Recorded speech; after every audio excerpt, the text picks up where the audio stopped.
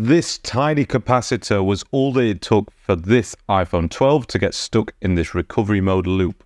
So we're going to open up the phone and take a look inside. The easiest way to open these is with the suction cup and then we're going to remove the shield for the battery connector and screen connectors, then the shield for the top speaker flex and disconnect that. We can then get the screen out of the way, reconnect the battery and then plug it back into power.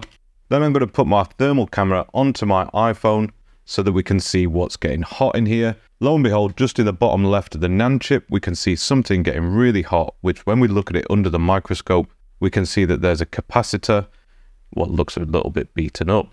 All that we need to do is take some fine tweezers and pry this out of the way a little bit like pulling out a bad tooth. For the sake of testing, it's not going to do any damage being removed while the phone boots, but we will install another one later.